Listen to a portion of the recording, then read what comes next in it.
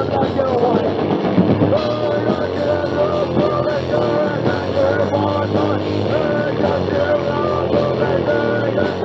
on, boy!